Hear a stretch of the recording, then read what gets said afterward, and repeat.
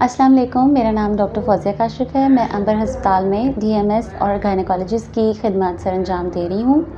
यह अस्पताल बेदिया रोड, मानावाला पर वाक़ है। यहाँ पे हर किस्म की सहूलियात मौजूद हैं, जिसमें लेबॉर्ट्री जदीद मशीनरी, हर किस्म की सर्जरी तरबियत याफ्ता स्टाफ फार्मेसी, वसी पार्किंग और नौ मौलूद के लिए नर्सरी का इंतज़ाम भी मौजूद है।